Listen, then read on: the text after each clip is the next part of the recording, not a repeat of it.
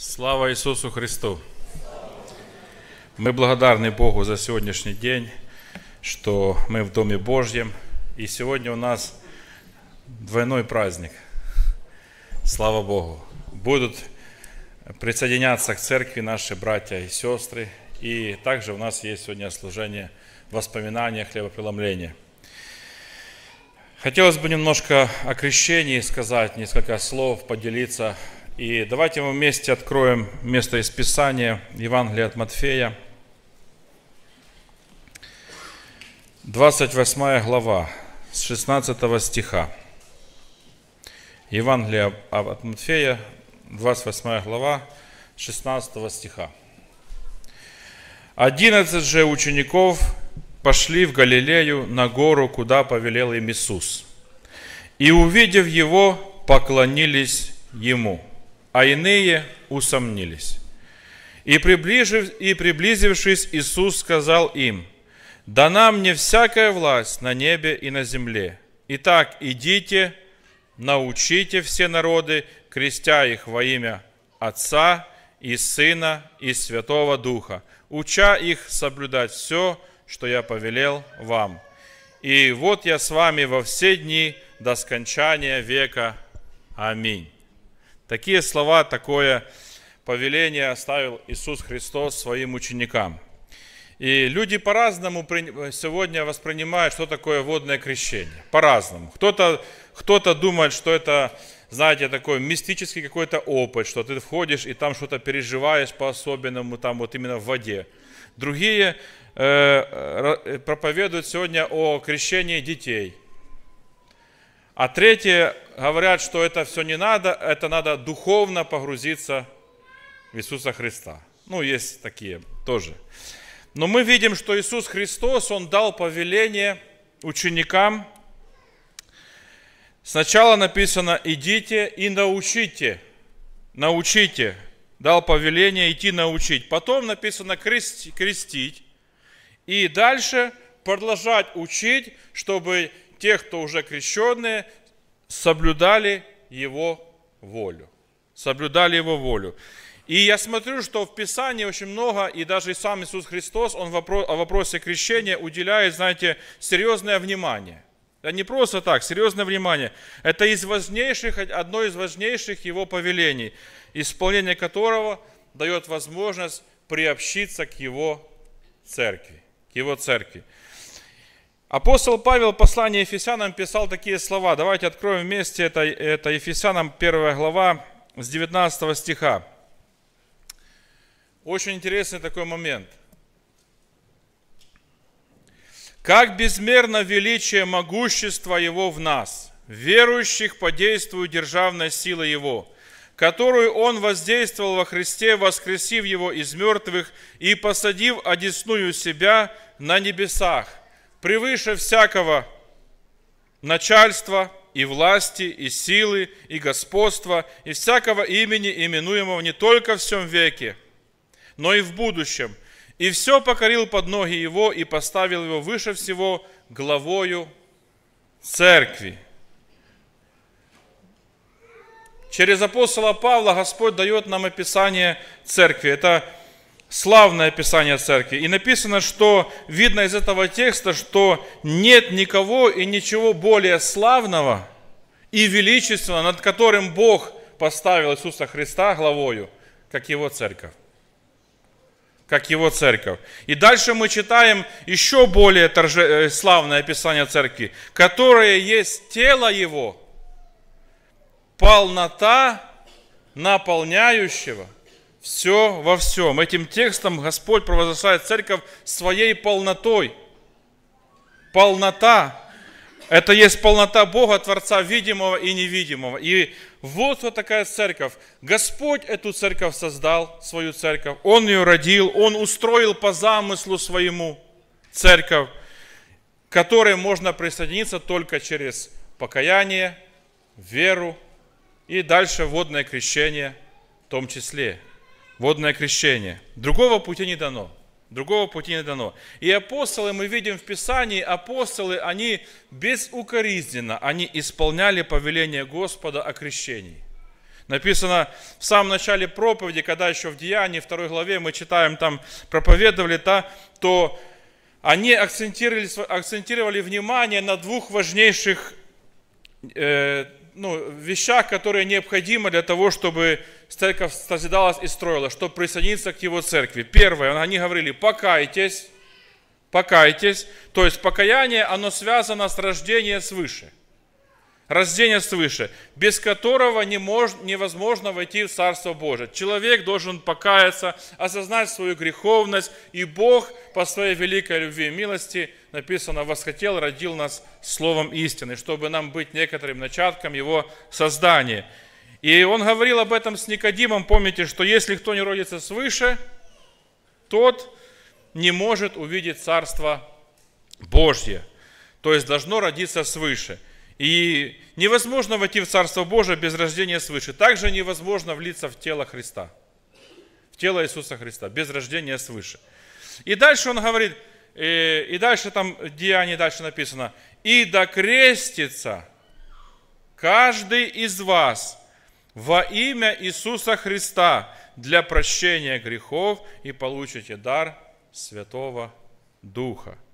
Еще э, э, евангелист Марк, он писал, идите по всему миру, это тоже мы читали Матфея, проповедуйте Евангелие всей твари, и кто будет веровать и креститься, спасен будет, а кто не будет верован, веровать, осужден будет. Мы видим из этих отрывков, из этих мест из Писания, да, мы видим, что Иисус очень серьезно относился к вопросу крещения, веры и крещения – с этим связано и спасение, и прощение грехов.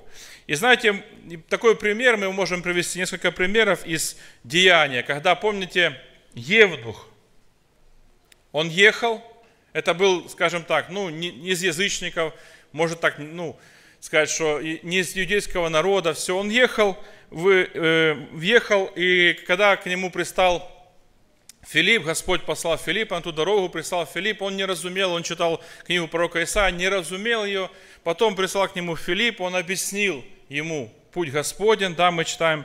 И когда истину уразумел этот евнух, выслушав проповедь Филиппа, он уразумел, то вывод, который он сделал, что, что ну, как бы, и Филипп говорит, что истину, и говорит, что, что мешает креститься, да, что мешает креститься?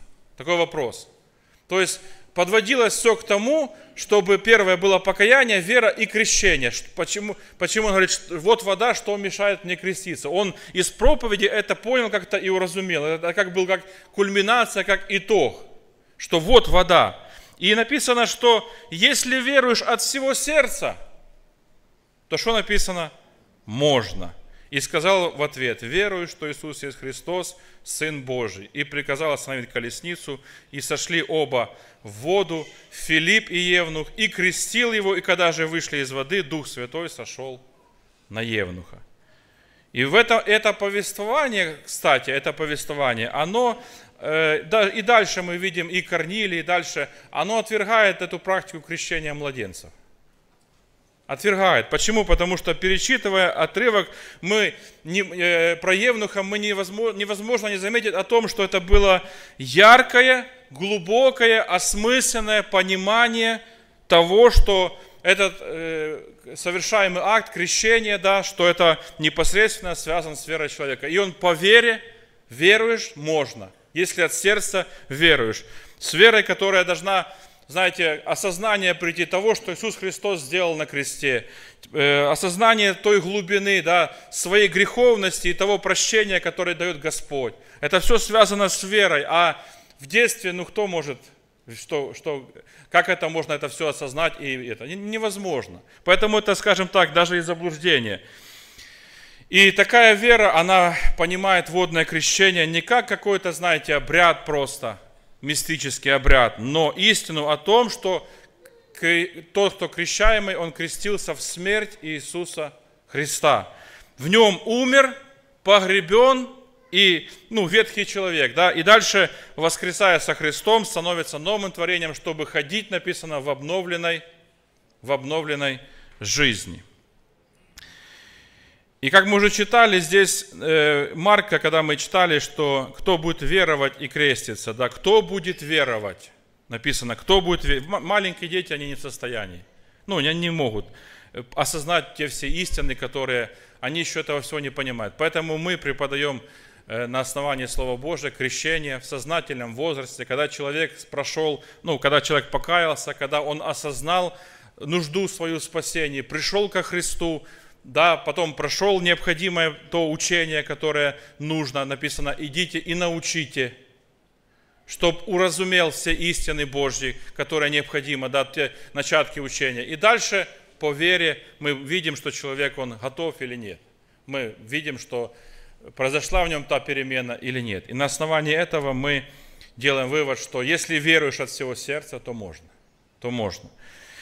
И покаяние и крещение, они непосредственно связаны со спасением. Помните, написано, фарисеи, они отвергли волю Божью о себе, не крестившись. Даже сам Иисус Христос, Он пришел и от Иоанна принял то крещение, чтобы исполнить всякую правду, всякую правду, то тем более и нам надо исполнить всякую правду. И тот, кто э, принимает водное крещение, там написано, что он вступает в завет – обещая со своей стороны Богу служить доброй совестью.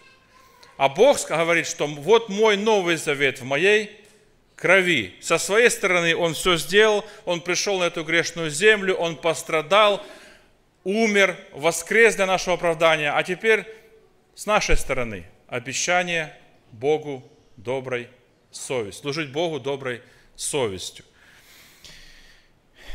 И помните, когда в доме Корнилия, там тоже была эта история, там написано тоже, ангел послал э, э, Корнилию, Корнилию было, э, Корнилию было сказано слово, чтобы он послал за Петром, пришел Петр, там проповедовал слово, все, и тогда Петр сказал, кто может запретить креститься водой тем, которые, как и мы, получили Духа Святого. Там была ситуация немножко по-другому. Там Евнух, он крестился и сошел Дух Святой, а здесь уже было наоборот. И велел им креститься во имя Иисуса Христа. Церковь Иисуса Христа, она строится из раскаявшихся грешников. Из раскаявшихся грешников, возрожденные свыше, которые, которые осознанно приняли крещение посредством полного погружения в воду. Полного погружения в воду, что символически указывает на погребение что мы умерли для греха, для этого мира и обещаем дальше идти за Господом и полностью жить с жизнью с Господом Иисусом Христом, вступая в эти завет, в эти отношения с Ним. Там в Деянии написано, «Итак, охотно принявши Слово Его, охотно принявши Слово Его, крестились, и присоединилось в тот день душ около трех тысяч». И они постоянно, это не просто так – это не просто на этом жизнь не заканчивается. И дальше они говорят, постоянно дальше. Слышите, друзья, после водного крещения это не, не, не последняя точка. Что все, я уже принял водное крещение, можно расслабиться. Дальше путь. И написано, они постоянно пребывали в учении апостолов, в общении, преломлении хлеба и в молитвах о том, что покаявшимся возрожденным свыше нужно было принять водное крещение, свидетельствуют и другие места э, Нового Завета. И дальше через крещение, через водное крещение люди получали право на участие в хлебопреломлении. хлебопреломлении, в видимом символе, знаке принадлежности к телу Иисуса Христа. Поэтому пускай Бог благословит каждого из нас – чтобы действительно тех, кто сегодня будут принимать водное крещение, чтобы это было осознанно, чтобы это было действительно от сердца. Я верю, что у них это все уже было оговорено, что это все было с ними, с ними проводились беседы, они проходили уроки, да, эти занятия. Я думаю, что они приняли решение сегодня служить Господу. Я вспоминаю себя тоже, думаю, было время, когда пришло осознание – хотя я вроде как и ходил в церковь сюда, да, с детства, пришло осознание того, что я грешный человек. Я не верю, не, не совсем понимаю тех людей, которые я с детства верующий. У Бога внуков нету. У Бога есть дети, те, которые к Нему приходят, те, которые лично имеют встречу с Ним через покаяние и веру, и те, которые следуют за Ним лично. Помните, та вера, которая обитала и в матери твоей, и в бабке твоей, она сегодня и в тебе. Она должна быть сегодня в каждом из нас лично. Поэтому я вспоминаю и думаю, то, что бабушка моя ходила, хорошо, мама тоже прекрасно, но у меня должна быть личная вера, личное отношение с Господом моим Иисусом Христом. И это осознание ко мне пришло, я помню, покаялся, и дома, будучи дома, и действительно Господь наполнил своей такой благодатью, я ощутил радость, прощение, радость спасения, радость новой жизни. И мне просто хотелось, захотелось вот как-то вот жить совсем по-новому, совсем по-новому жить с Богом. И потом на основании э, Слова Божьего водное крещение. Я помню, брат Саша у нас проводил эти занятия. Ну, мы, мы пришли, он говорит, ну ты же уже все знаешь, у тебя же бабушка. Я помню эти слова. А я говорю, ну бабушка, бабушка, но мне надо самому ходить на эти занятия. Мне надо самому научаться, мне надо самому э, иметь эту веру, самому иметь эту веру. И братья потом спрашивали перед водным крещением, некоторые вопросы задавали, все. И я, мне, было, мне было тоже, были сомнения разные. А вдруг у меня не получится? Вдруг я там, знаете, ну, не устаю или еще что-то. Но думаю, если я уже начал эту жизнь, да, если я покаялся пред Богом, то некоторые думают, что вот с момента водного крещения. У нас в стране война с, 22 года, э, с 14 года, а не с 22 С 14 года война у нас. Так и, так и тут, с момента покаяния. Ты уже стал на этот путь. И дальше, взявшись за плуг, не оборачивайся назад. Дальше воля Божия есть водное крещение, дальше воля Божия есть духовное крещение, и дальше воля Божия есть э, служить Ему до конца своих дней. Поэтому пускай Бог благословит сегодня наших друзей. И, как мы уже сказали, водному крещению предшествует покаяние, предшествует вера в Господа Иисуса Христа как личного Спасителя и предварительное наставление основам, учения, основам евангельского учения. Этому предшествует. Мы все это исполнили, братья, исполнили в церкви это все исполнили, и сегодня мы будем наблюдать этот чудесный момент, когда они будут вступать в завет Господом. Поэтому хотелось бы, друзья, помолиться, помолиться о том, чтобы Бог благословил наших крещаемых.